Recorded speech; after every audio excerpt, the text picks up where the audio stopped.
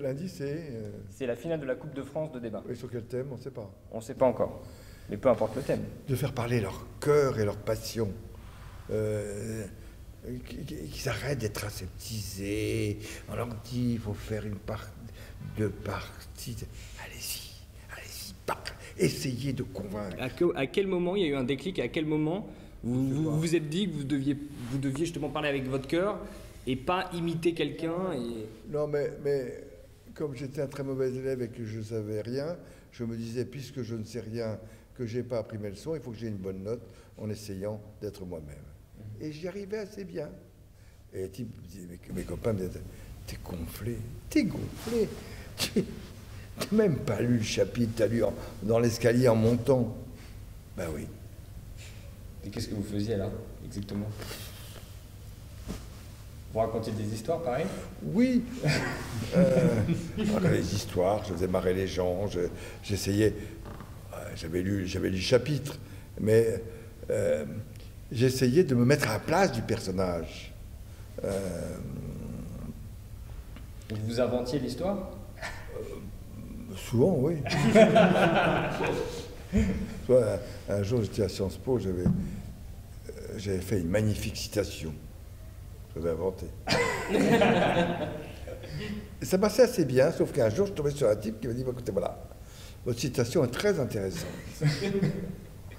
Vous allez, la semaine prochaine, vous amenez référence. J'ai pas.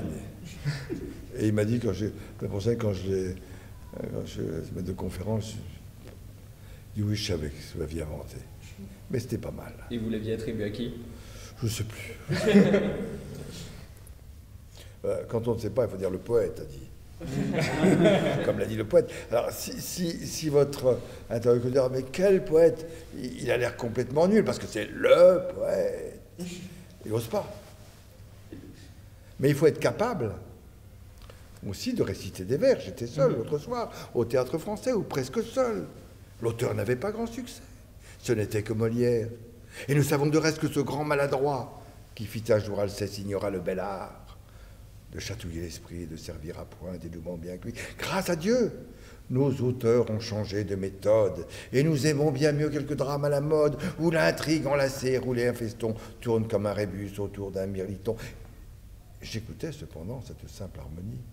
Et comme le bon sens fait parler le génie, j'admirais quel amour pour l'âpre vérité eut cet homme si fier.